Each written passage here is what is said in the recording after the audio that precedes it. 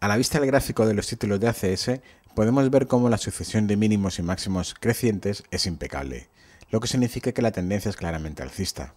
Además, se podría decir que los movimientos están siendo bastante predecibles en general, pues cada vez que supera una zona de resistencia e inicia un nuevo impulso alcista, suele ocurrir que después, durante la fase de reacción, el precio termina corrigiendo hasta la cresta del impulso alcista previo, o lo que es lo mismo, realiza el típico throwback a los máximos anteriores para reestructurarse de nuevo al alza. A día de hoy da la sensación de que poco a poco tenderá a buscar niveles de precio cercanos a los 31 euros.